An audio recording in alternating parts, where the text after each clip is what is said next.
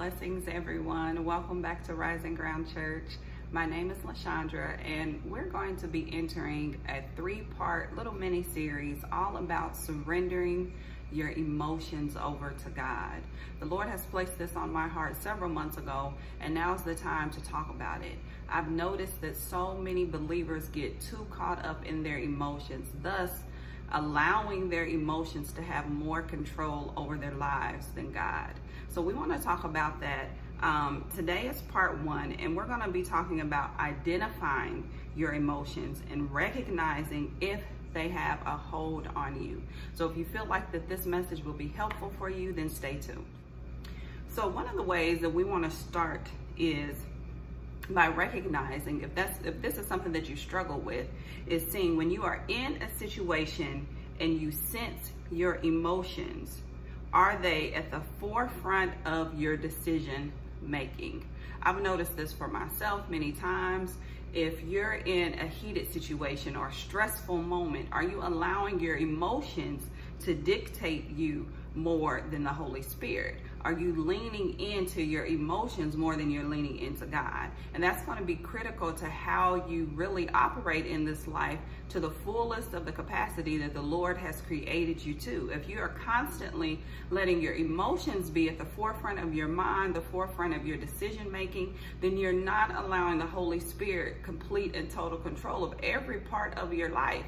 I remember years ago, the Lord was telling me, and it was very specifically, he said, compartmentalize that I was compartmentalizing everything and that I was having, so that just means that I was having it in all of these little sections and chunks in my mind and in my thinking, in my um, even rationale, and that in that I also was not allowing God access to those parts. So it was as if, okay, God, I'll, I'll give you this little piece and this little section, because of my emotions, but I wasn't allowing him full and total control. And it wasn't until I was able to recognize it, identify that, that then I was able to start to dismantle that thing and allow the Holy Spirit to have full and total control because obviously that's not something that I was aware of. So the Lord was making me aware of it so that I could start to move forward from it. So I pray that you're able to recognize, identify, and then move on. So, do you let your emotions be a guide or a ruler or a dictator? Are you allowing your emotions, whether it's sadness, whether it's happiness, whether it's disappointment, whatever the spectrum that it may fall on, whether you think that it's a positive thing or a negative thing, are you allowing that to be the ruler over you? Again, you have to be aware of it so that then you can start to change it and recognize it and allow God to help you to change it. This is another way that you can tell if you're allowing those emotions to really rule over you. How often do you fall into a slump or burst of anger or even a depression when things don't work out for you the way you thought that they would or the way that you wanted them to. Now, this can show up in many different forms if a situation doesn't go the way that you have prayed for, if something doesn't happen the way that you just knew God was going to come through, like you just knew, okay, God is going to help me with this and this is how it's going to happen. I'm going to get this job and, and everything is going to go well in my life. And then all of a sudden, it doesn't happen that way. Do you allow that situation to then uh, cause your emotions to rule over you and then put you into a slump? Whether that's a slump of depression, whether it's a slump of defeat, whether it's a slump of um, even just feeling disappointed in God, you have to recognize it. Now, that doesn't mean that these emotions won't come up. We're not saying that at all. The Lord understands that. You know, that's why he says that you can be angry, but to sin not. So in that, and I'll reference that scripture several times during this series, because in that the Lord is saying, yes, emotions are going to come. Anger is going to come. Sadness is going to come. Disappointment is going to come. But the key is, see, the, the other portion of that is, but to sin not. So in essence, the Lord is saying, are you allowing that thing to have rulership or dictatorship over your life? You have to learn when to, okay, I'm not going to let this emotion take complete and total control over me. No. All of me, including my emotions, belong to God. Now, these things don't have to be a stronghold over you per se. Some of these are strongholds over people though. When when it's a constant fight, a constant battle, a constant um, feeling of disappointment, a constant anger, a constant lashing out even. Because when things don't go your way and you start to lash out on other people or other things, then you know that it has become a stronghold over you.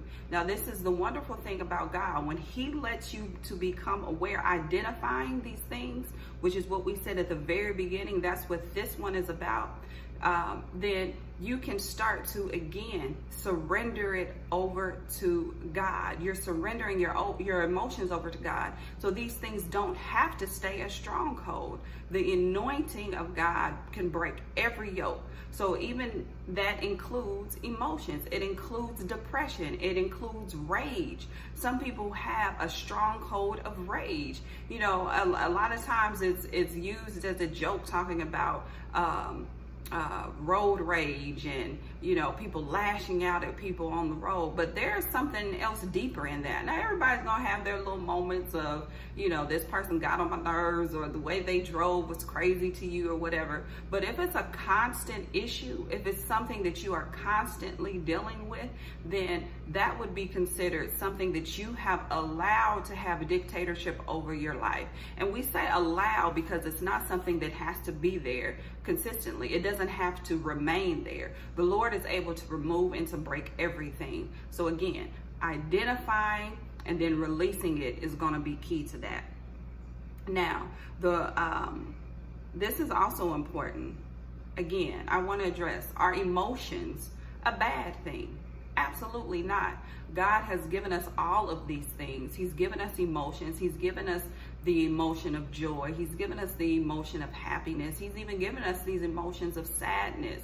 But the thing is, how are we dealing with them? How do we allow um, do we allow them to take control over us, or do we have control over them?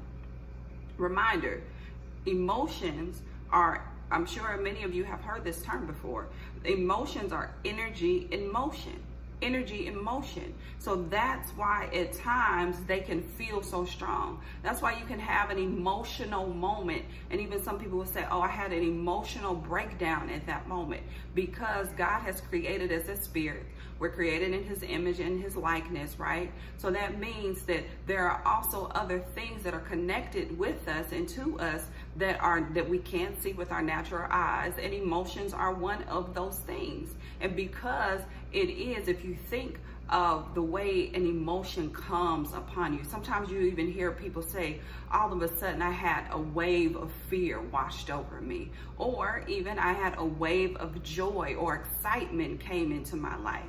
That's expressing and is really identifying that emotion that all of a sudden came and rushed in. And that's why at times it can feel as if it's more powerful than you are. But God says no, that you have the authority. He has given you the authority as a believer. And once you accept Jesus Christ, then you have the authority even over your emotions. We've given our emotions too much power, too much power, which then go back to the beginning, what we said, it starts to dictate our judgment and our reasoning. And that is not the place that the Lord wants you to be in. Now, another way of identifying those emotions is by evaluating your thoughts. So pay attention. What kind of thoughts come alongside of the emotion that you're feeling in that moment? You may feel a certain way, but then your thoughts are going to, to come right there with it. Now, sometimes that can work both ways. You have the thought and then an emotion will come along with it. And I pray that you all are receiving this. I pray that you're that you're really paying attention to what the Holy Spirit is revealing to you right now because this can literally change your life. It can even help you to get to that place that you've been praying about because sometimes we don't realize that you're blocking your own prayers by your emotions, by the thoughts that come alongside of those emotions, because there's a whole lot of power that's right there with it. When you think of an emotion that you have and you think that it's carrying another thought or the thought is carrying an emotion alongside with it, then you have to pay attention so then you can start to break that cycle. So then you can start to break that thought pattern. Because if you're constantly thinking nothing, nothing ever works out for me. If you're constantly thinking, oh, um, I, I fail at everything that I do, that is going to bring alongside of it an emotion of defeat or an emotion of despair. And then that can start to dictate your decisions. And then you can start to doubt God more because your emphasis is more on your feelings and your emotions versus the power of God and the authority that he has given you as a believer. Now, this is very key and helpful in recognizing that these things can change. These can change, but you have to pay attention so that you can start to switch those gears when it's necessary, when it's necessary for it to come. Now, remember that always these emotions are tied to a thought or the thought is tied to an emotion. It works both ways, but you're able to get out of it. God has given you the route. He's always, you know, the word says that he's always given us a way to escape. He gives you a way to escape by recognizing it, by paying attention. Sometimes you mindlessly think. We all do it. I do it. We just think. We just go. Our minds, our, our, our, our minds are going one way and then next thing you know, you thought about something for an hour straight. One time I did that. Like I paid attention to what I was thinking of and I was like, oh wow, I really just paid attention to this thing for a whole hour. Now, how different would that have been if I had been thinking of God for that whole hour? How different would it have been if I had been thinking of, of the goodness of the Lord and how he can come through and how powerful God is versus my problem or worry or the situation that I was in. So paying attention to these thoughts can help you change and redirect them. Now, as people, we're taught to be aware, we're taught to be more aware of the situation than we are of the thoughts, the feelings, and our belief systems behind a thing. And so now God is saying, look, you can't keep going through life mindlessly. You can't keep going through life asleep. You can't keep going through your life with just not paying attention to what you're thinking about because these habits produce results and these re results can start to shift your whole life, whether that be negative or positive. So you have to pay attention to these things. So um, I'm gonna stop there for today. But again, pay attention because we're gonna have two more sessions with this. Um, I believe that it's just very important that we get this and understand our emotions and understand that you have to surrender your emotions over to God, everything over to the Lord. So I pray that this word is helpful for you guys. And I pray that you take this teaching and that you apply it and that you share it with someone else. If you know that this could help someone else in their life, don't be afraid to share it with them and just leave it there. You don't gotta say too much, just leave it there and let the Lord do the, um, do the illumination, bring the illumination to that person. So I love you guys so much. Have a blessed day in the Lord, and I will see you for part two next time.